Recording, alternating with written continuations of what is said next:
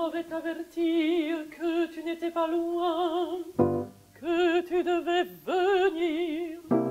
L'on m'avait même dit de craindre pour ma vie. Mais je suis brave et n'ai pas voulu fuir. Je ne menace pas, je pleure si plie notre passé Carmen. Notre passé je l'oublie.